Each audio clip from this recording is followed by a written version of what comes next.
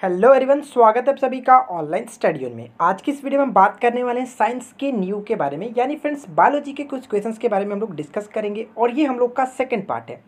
इससे पहले मैंने आपको फ़र्स्ट पार्ट कंप्लीट किया था, जिसमें मैंने काफ़ी अच्छे अच्छे क्वेश्चन आपके साथ डिस्कस किया था। अगर आपने नहीं देखा तो लिंक आपको डिस्क्रिप्शन में मिल जाएगी, आप वहाँ से देख लीजिएगा। और ये आने वाले Bihar S I mains exams के लिए मोस्ट इंपॉर्टेंट होगा आपके लिए। तो इस वीडियो को कम्प्लीटली एंड तक ज़रूर देखिएगा। तो चलिए फ्रेंड्स शुरू करते हैं।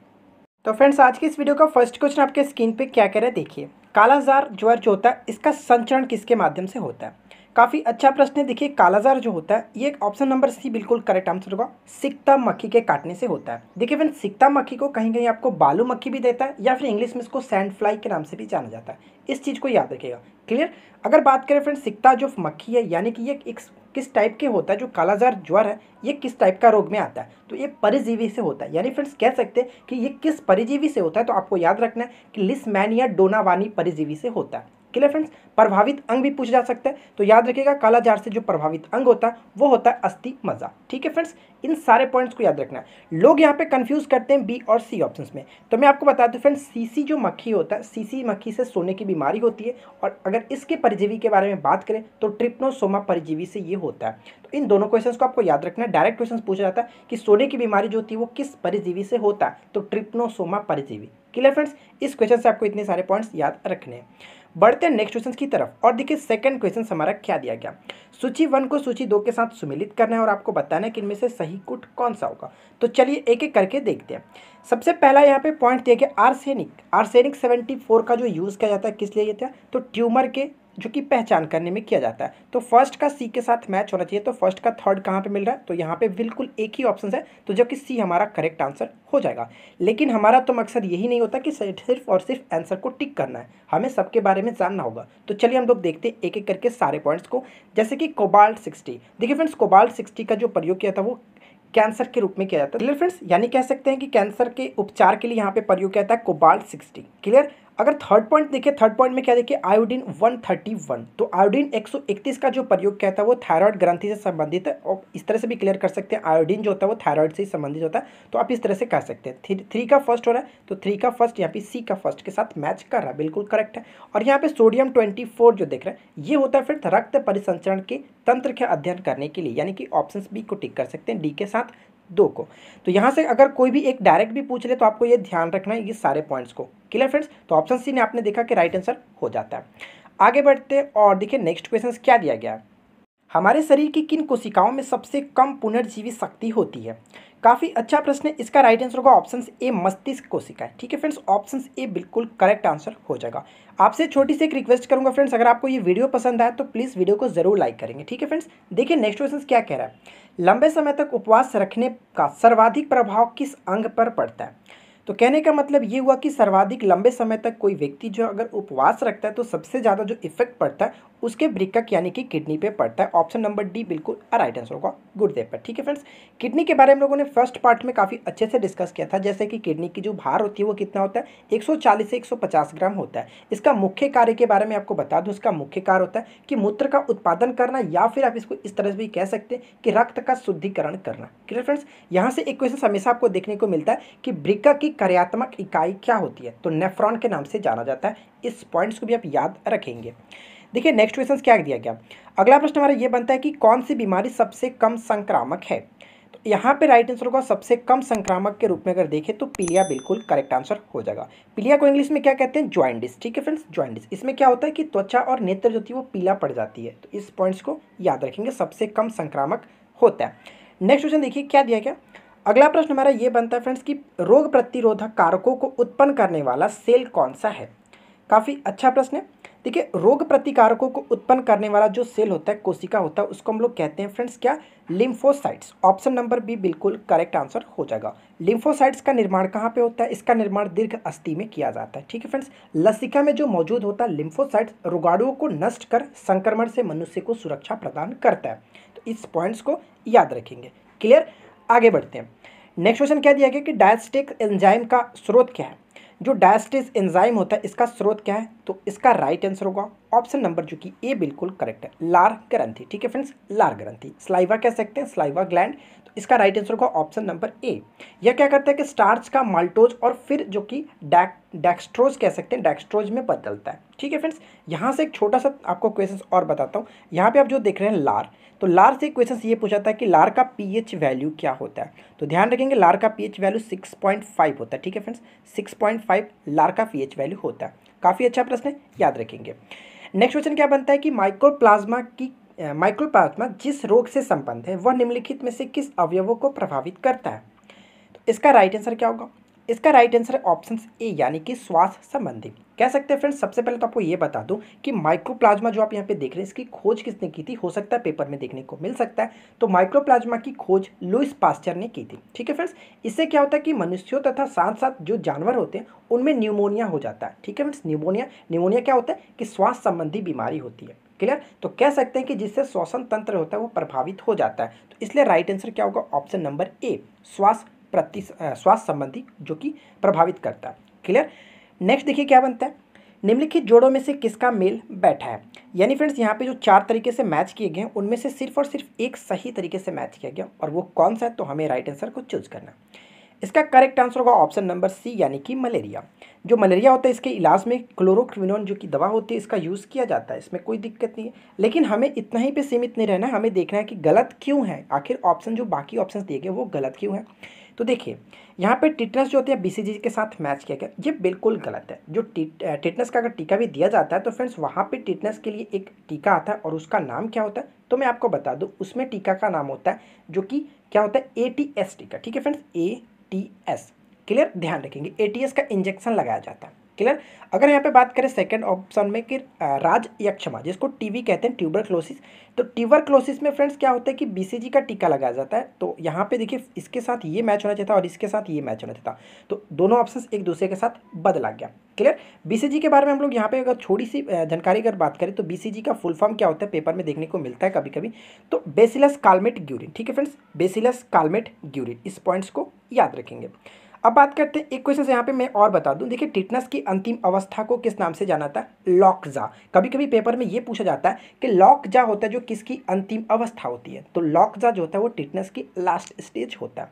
क्लियर तो फ़िलहाल यहाँ पे देखिए स्कर्बी दिया गया। तो स्कर्बी जो थायमिन नहीं स्कर्बी का विटामिन सी की कमी से होने वाली एक बीमारी है तो यहाँ पे विटामिन सी होना चाहिए था स्कर्विक एसिड की कमी से। तो फ़िलहाल देख सकते हैं फ्रेंड्स ऑप्शन नंबर सी यहाँ पे बिल्कुल करेक्ट हो जाता है। तो यहाँ पे हम लोगों ने जो भी पॉइंट्स डिस्कस किया था, आप उन सारे पॉइंट्स को याद रखिएगा। बढ़ते हैं नेक्स्ट क्वेश्चन की तरफ़।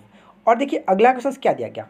माइट्रोकॉन्ड्रिया के संदर्भ में निम्नलिखित कथनों पर विचार कीजिए। यानी फ्रेंड्स फ़र्स्ट और सेकंड्स को पढ़ना है और उसके बाद हमें यहाँ पे राइट आंसर को टिक करना होगा। तो चलिए एक एक करके देखते हैं। सबसे पहला पॉइंट्स में क्या कह रहा है? कि जीवाणुओं में माइट्रोकॉन्ड्रिया पाया जाता है, लेकिन नील हरित सवाल में नहीं पाया जाता। तो इसमें कोई दिक्कत नहीं है, बिल्कुल करेक्ट कह रहा है। ठीक है फ्रेंड्स मैं आपको बता दूँ कि माइट्रोकॉन्डिया जो होता है, जीवाणु और नील हरित सवाल को छोड़कर पौधे और जो प्राणियों की सजीव जो कोशिकाएँ होती हैं, उनमें उपस्थित होता है। एक क्वेश्चन से आपको ये ध्यान रखना फ्रेंड्स कभी कभी माइट्रोकॉन्डिया न लिख करके क्या लिखता है? सूत्र कर्णिका तो एक क्वेश्चन ये भी पूछा जाता है कि जीवाणुओं में सूत्र कर्णिका की संख्या कितनी होती है? तो मैं आपको बता दूँ कि जीवाणुओं में कोई भी सूत्र कर्णिका यानी कि माइट्रोकॉन्ड्रिया नहीं होता है ज़ीरो होता है। डायरेक्ट क्वेश्चन पूछा जाता है। याद रखिएगा, ठीक है? पहला पॉइंट तो क्लियर हो गया। सेकेंड पॉइंट देखिए क्या होता है। यहाँ पर ये बोला कि इसमें ऊर्जा रासायनिक स्थितिज ऊर्जा के रूप में संचित रहता है। तो बिल्कुल करेक्ट इसमें कोई दिक्कत नहीं, तभी तो इसको कहा जाता है कोशिका का पावर हाउस इसमें कोई दिक्कत नहीं तो कह सकते हैं फ्रेंड्स दोनों ऑप्शन बिल्कुल राइट आंसर हो जाता है। तो इसलिए हमारा जो कि बिल्कुल करेक्ट आंसर होगा ऑप्शन नंबर यहाँ पे। एक और दो दोनों बिल्कुल करेक्ट हो जाता है। ठीक है फ्रेंड्स, एक और दो राइट आंसर हो गया। तो फ्रेंड्स, उम्मीद करता हूँ कि आपको यहाँ तक कोई भी दिक्कत नहीं होगी और सारे क्वेश्चंस को आपने अच्छे से समझ में लिया होगा। ठीक है? अच्छा एक क्वेश्चन और हम लोग यहाँ पे बात कर लेते हैं। जैसे माइट्रोकॉन्ड्रिया जो शब्द दिया गया था, वो किसके द्वारा दिया गया? माइट्रोकॉन्ड्रिया जो सॉरी खोजा गया था, वो किसके द्वारा? अल्ट मैन के द्वारा खोजा गया था करीब करीब अट्ठारह ईस्वी में। लेकिन इसका जो नामकरण किया गया था, वो बेंडा ने किया था। इन दोनों पॉइंट्स को भी आप याद रखेंगे। चलिए देखते हैं अगला क्वेश्चन क्या कह रहा है। नेक्स्ट क्वेश्चन ये कह रहा है कि मानव शरीर की सबसे बड़ी मिश्रित ग्रंथि कौन सी है?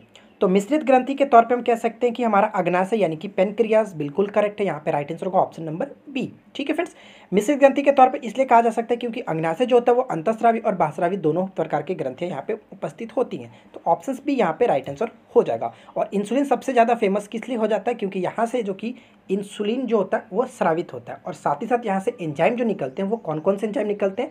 तो अग्नाशय से चार सॉरी तीन प्रकार के एंजाइम निकलते हैं, जो मैंने आपको कई बार बताया, और वो एंजाइम कौन कौन से तो ट्रिप्सिन लाइपेज और एमाइलेज इन तीनों नामों को याद रखेंगे। ठीक है? ओके फ्रेंड्स नेक्स्ट देखते हैं क्या कह रहा है। अगला प्रश्न ये कह रहा है कि गल सुगा यानी कि मम्स इंग्लिश में कहते हैं एक वायरल रोग है जो कि सूजन पैदा करता है।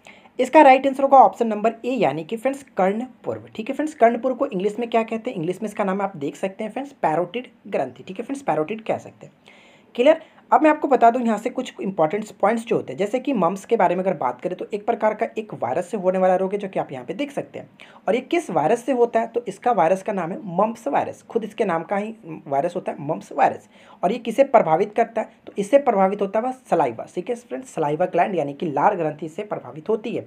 और इस रोग के विषाणु का जो प्रसार होता है, रोगी के लार से ही होता है। इस चीज़ को याद रखेंगे। ठीक है फ्रेंड्स यानी कहने का मतलब ये हुआ कि इस क्वेश्चन का राइट आंसर जो आपने देखा कि कर्णपुर, कहने का मतलब ये हुआ कि कर्ण के नीचे स्थित पैरोटिड ग्रंथि में सूजन आ जाती है। बुखार लगने से दो से तीन दिन के बाद क्या होता है कि जस्ट उस ग्रंथि में क्या होता है कि सूजन आ जाता है। कर्ण के नीचे थोड़ा सा, कान के नीचे, कर्ण का मतलब कान के नीचे एक थोड़ा सा सूजन आ जाता है और इसी ग्रंथि में आता है। ठीक है फ्रेंड्स और इसके लिए क्या कहते हैं कि एक इंजेक्शन दिया जाता है और उस इंजेक्शन इंजेक्शन का नाम क्या है? टेरामाइसिन का इंजेक्शन तो इस पॉइंट से आपको इतनी सारी नॉलेज हो जाती है। चलिए बढ़ते हैं नेक्स्ट क्वेश्चन की तरफ़। और अगला क्वेश्चन क्या कह रहा है कि रोमेटिक हृदय रोग का इलाज किसकी मदद से किया जाता है? इस क्वेश्चन का राइट आंसर होगा ऑप्शन नंबर जो कि ए बिल्कुल करेक्ट आंसर हो जाएगा। स्प्रीन की मदद से किया जाता है। ऑप्शन ए करेक्ट हो जाता है। नेक्स्ट क्वेश्चन हमारा क्या बनता है कि एंजाइम होते हैं। देखिए फ्रेंड्स एंजाइम क्या होते हैं? तो एंजाइम एक प्रकार के प्रोटीन होते हैं। ऑप्शन नंबर बी बिल्कुल करेक्ट आंसर हो जाएगा। यहाँ से एक क्वेश्चन और मैं आपको बता दूँ, शायद आपको पता हो कि एंजाइम की खोजकर्ता किसे माना जाता है। एंजाइम के खोजकर्ता जर्मन वैज्ञानिक फ्रेंड्स कुहने थे, ठीक है? मैं यहाँ पर लिख देता हूँ कुहने। तो इस पॉइंट्स को भी आप याद रखेंगे, कुहने को माना जाता है। ठीक है फ्रेंड्स आपके लिए एक छोटा सा मैं प्रस्ताव रखता हूँ। अगर आप इसका थर्ड पार्ट देखना चाहते हैं तो इस वीडियो का टारगेट लाइक रखता हूँ, दो सौ लाइक इस वीडियो को 200 लाइक आपको कंप्लीट करना अगर आप इसका थर्ड पार्ट देखना चाहते हैं। जैसे ही आपका थर्ड पार्ट का 200 लाइक का टारगेट कंप्लीट होगा, मैं आपको थर्ड पार्ट प्रोवाइड करा दूँगा। तो आगे बढ़ते हैं। नेक्स्ट क्वेश्चन देखिए, क्या है कि निम्न में से कौन सा लार्ग यानी कि सिलाईवा का लाभ नहीं है? ठीक है फ्रेंड्स यानी कि आपको बताना है कि लार का, कौन सा इसमें लाभ नहीं होता है। तो देखिए, बात करते हैं सही उत्तर का। इस क्वेश्चन का राइट आंसर होगा ऑप्शन नंबर बी यानी फ्रेंड्स इसमें, यह शरीर में आरबीसी की वृद्धि करता है। लार से आरबीसी का क्या मतलब? ये पॉइंट्स गलत है, बिल्कुल गलत है। ध्यान रखेंगे, ठीक है फ्रेंड्स ऑप्शन बी राइट होता है। बाकी ऑप्शन में आप देख सकते हैं कि यह निगलने में मदद करता है, बिल्कुल करेक्ट है फ्रेंड्स जो हम लोग भोजन को खाते हैं, जिसको चबा चबा कर खाते हैं, वो क्या करता है? लार के, लार वजह से ही हम लोग उसको आसानी से निगल पाते हैं। ठीक है, आपको ये पता होगा। और ये मुख तथा दांतों को साफ़ रखता है, यानी कि फिर जो भी एंजाइम आते हैं, उनको नष्ट करके हमारे मुख और दांतों को साफ़ रखता है। इसमें भी कोई दिक्कत नहीं है। और ये होठों तथा जीवों की गति को सुकर बनाकर बोलने में मदद करते हैं। बिल्कुल करेक्ट है, जैसे कि आपको पता होगा, इसके बारे में मुझे क्या बताना। चलिए नेक्स्ट देखते हैं। अगला पॉइंट देखिए क्या कह रहा है। तंतु आहार में शामिल है। इसका सही उत्तर होगा ऑप्शन नंबर जो कि बिल्कुल करेक्ट है फ्रेंड्स, डी, यानी कि सेलुलोज। ठीक है फ्रेंड्स, सेलुलोज बिल्कुल करेक्ट आंसर हो जाता है। ये एक प्रकार की क्या होता है फ्रेंड्स, की पॉलीसेक्राइड होता है जो कि ग्लूकोज का बना होता है। इस चीज़ को याद रखेंगे, ठीक है? कौन? तो सेलुलोज के बारे में बात कर रहे थे हम लोग कि ये एक प्रकार का पॉलीसेक्राइड होता है जो कि ग्लूकोज का बना होता है, ठीक है? आगे बढ़ते हैं। देखिए, नेक्स्ट क्वेश्चन क्या कह रहा है कि मूत्र का असामान्य घटक है।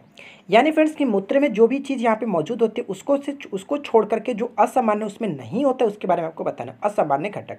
तो इसका राइट आंसर होगा ऑप्शन नंबर बी बिल्कुल करेक्ट आंसर होगा। एल्ब्यूमिन ठीक है फ्रेंड्स मैं आपको बता दूँ कि मूत्र में एल्ब्यूमिन नहीं होता है, लेकिन मूत्र में अगर मात्रा के बारे में अलग अलग बात करें तो जैसे कि फ्रेंड्स नाइन्टी तो जल होता है, ये आपको पता होगा। ठीक है नाइन्टी जल होता है। दो परसेंट क्या होता है कि लवण के रूप में उपस्थित होता है। अगर दो पॉइंट सिक्स के पॉइंट्स के बारे में बात करें तो दो पॉइंट सिक्स जो होता है, वो यूरिया होता है। ठीक है, यूरिया। और पॉइंट थ्री परसेंट करीब करीब, ये लगभग भी हम लोग लेकर चल रहे हैं, ठीक है? एक्जैक्ट तो मैं नहीं कह सकता हूँ कि ज़ीरो पॉइंट थ्री परसेंट जो होता है वो यूरिया यूरिक एसिड होता है और साथ ही साथ एक एक होता है क्यों क्रिएटिन ठीक है? इन दोनों को मिलाकर के ज़ीरो पॉइंट थ्री परसेंट आप कह सकते हो। तो कुल मिलाकर आपने देखा तो एल्ब्यूमिन इसमें नहीं होता, इसका असामान्य घटक कह सकते हैं। क्लियर आगे बढ़ते हैं। नेक्स्ट क्वेश्चन देखिए क्या है कि पादपों में मूल रोमो द्वारा जल किस प्रक्रिया से अवशोषित किया जाता है, वह क्या कहलाता है? इसका राइट आंसर होगा ऑप्शन नंबर डी यानी फ्रेंड्स परासरण क्या होता है फ्रेंड्स इस विधि द्वारा पादपों में जो पादपों में मूल रोमो द्वारा जल का अवशोषण किया जाता है। तो इसको कहते हैं परासरण ऑप्शन नंबर डी करेक्ट हो जाता है। नेक्स्ट क्वेश्चन क्या है कि निम्नलिखित में से कौन मलेरिया पैदा करता है? तो हम लोगों ने कई बार बात की है मलेरिया के बारे में कि मलेरिया जो होता है फ्रेंड्स एक प्रोटोजोवा से होने वाला रोग होता है और ये किस प्रोटोजोवा से होता है? तो प्लाज्मोडियम प्रोटोजोवा से होता है। मलेरिया शब्द का सबसे पहला प्रयोग मैकुलाच ने किया था, इस चीज़ को भी आप याद रखेंगे। देखिए, डेंगू और मलेरिया में लोग कन्फ्यूज़ हो जाते हैं। जो डेंगू होता है फ्रेंड्स डेंगू जो होता है, वो क्या होता है? एक वायरस के होने वाला रोग होता है, लेकिन जो मलेरिया होता है, वो प्रोटोजोवा से होता है। तो इन दोनों चीज़ों में आप कन्फ्यूज़ नहीं होंगे, याद रखेंगे। अगला पॉइंट देखिए क्या है कि भारत सरकार के परिवार एवं कल्याण मंत्रालय द्वारा विभिन्न रोगों के अनुमूलन निर्धार, वर्ष निर्धारण में निम्नलिखित युग्मों पर विचार कीजिए। यानी फ्रेंड्स यहाँ पे जो भी मैच किए गए जैसे कालाजार को 2017 के साथ मैच किया गया फाइलेरिया कुष्ठ रोग को 2019 के साथ खसरा को 2022 के साथ और छह रोग 2025 के साथ। तो आपको बताने कि इनमें से कौन किसके साथ सही तरीके से मैच किया गया, उन्मूलन के लिए यानी कि खत्म करने के लिए इनको लक्ष्य रखा गया था। तो चलिए हम लोग बात करते हैं इसके राइट आंसर का। देखिए फ्रेंड्स यहाँ पे अगर बात करें कि कालाजार के लिए तो 2017 बिल्कुल करेक्ट है कि 2017 तक इसका लक्ष्य रखा गया था कि खत्म करना है, ठीक है? अगर सेकंड में देखेंगे फाइलेरिया कुष्ठ रोग तो यहाँ पे ये गलत है क्योंकि 2019 नहीं 2018 इसको रखा गया था। ठीक है? थर्ड पॉइंट में क्या है? खसरा। खसरा देखिए फ्रेंड 2022 नहीं होना चाहिए था, यहाँ पे 2020 होना चाहिए था। क्लियर और छह रोग का आपका बिल्कुल करेक्ट है कि 2025 तक इसका लक्ष्य रखा गया कि यानी कि टीवी रोग को 2025 तक खत्म करना है। तो फ़र्स्ट और यहाँ पे डी यानी कि पहला और जो कि चौथा बिल्कुल करेक्ट है, इसलिए ऑप्शन नंबर हमारा बी राइट आंसर हो जाता है। क्लियर फ्रेंड्स आगे बढ़ते हैं। देखिए नेक्स्ट क्वेश्चन क्या दिया गया? अगला प्रश्न है कि बायोप्सी संबंधित है। जो बायोप्सी होता है वो किससे संबंधित तो इसका सीधा मतलब होता है परीक्षण के लिए उत्तकों को शरीर से अलग करने से। ठीक है friends option number B sorry option number C right होता यहाँ से एक क्वेश्चन ये बन सकता है कि उत्तकों का अध्ययन क्या कहलाता है? उत्तकों का अध्ययन हम लोग क्या कहते हैं फ्रेंड्स आपको नीचे कमेंट्स करके बताना कब से हमने क्वेश्चन एक भी नहीं पूछा तो आपको नीचे कमेंट करके बताना कि उत्तकों के अध्ययन को किस नाम से जाना जाता है। चलिए नेक्स्ट क्वेश्चन देखिए।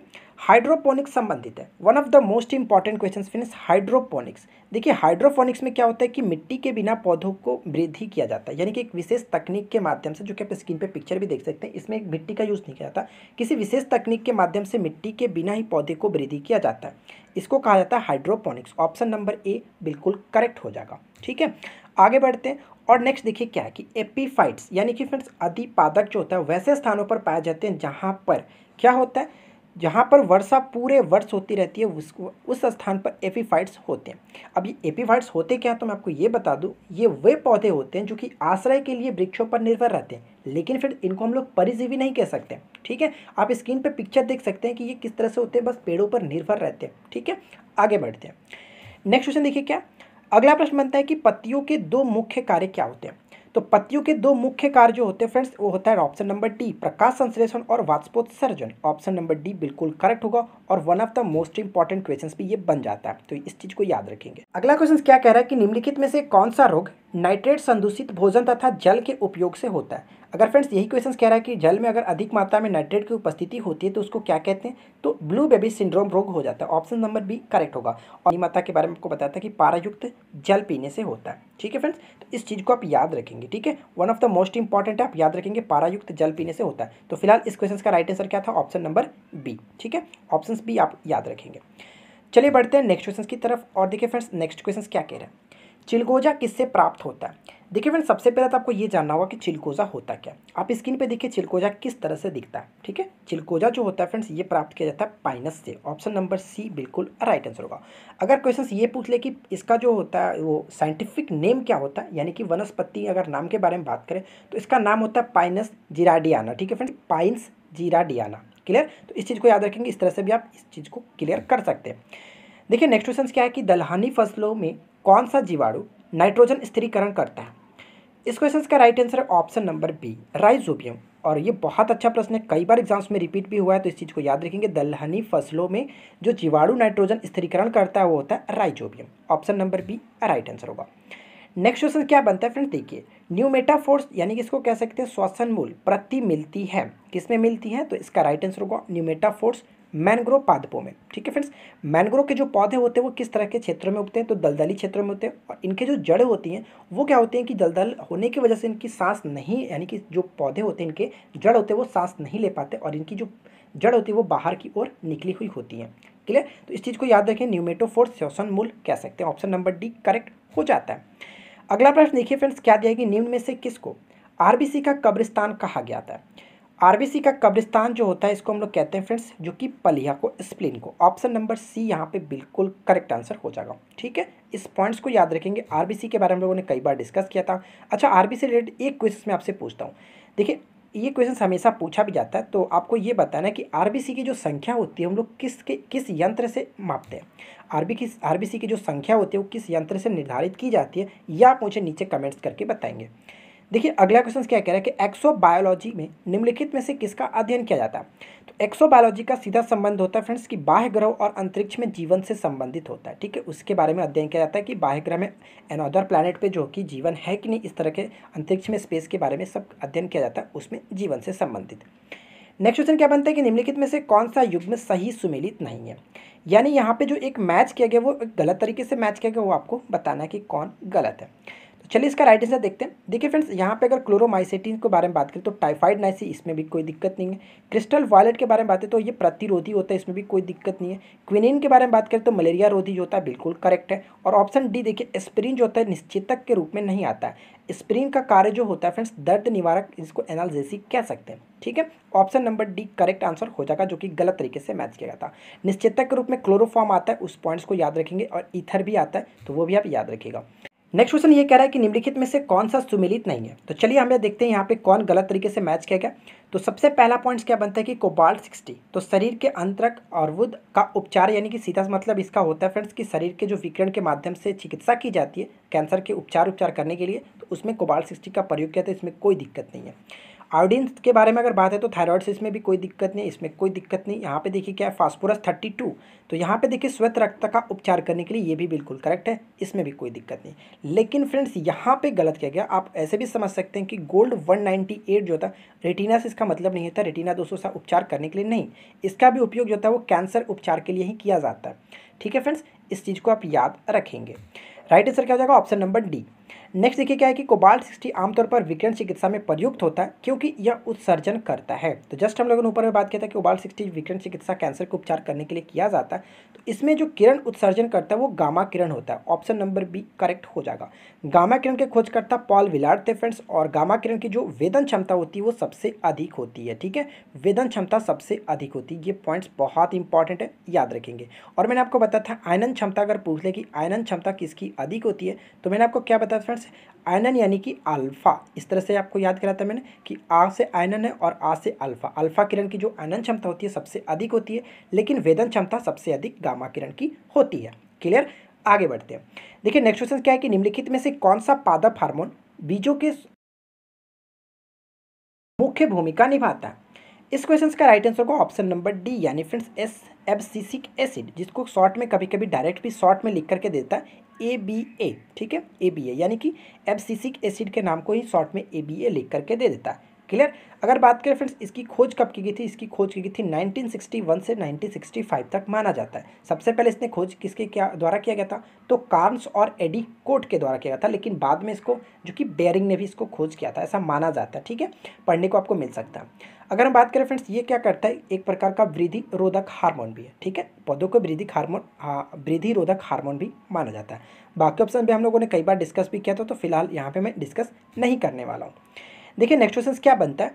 कि यहाँ पे होना चाहता है निम्नलिखित कथन पर विचार कर और सही विकल्प का चुनाव करें, ठीक है फ्रेंड्स तो देखिए अगर यहाँ पे हम सारे पॉइंट्स को एक एक करके डिस्कस करें तो पहला पॉइंट्स में क्या कह रहा है कि इंसुलिन इंसुलिन रक्त शर्करा का नियंत्रण करता है बिल्कुल करेक्ट है, इसमें कोई दिक्कत नहीं और इंसुलिन से रिलेटेड हम लोगों ने इतनी क्वेश्चंस को डिस्कस कर लिया तो मुझे नहीं लगता कि अब इसके बारे में ज़्यादा बात करने की ज़रूरत होगी।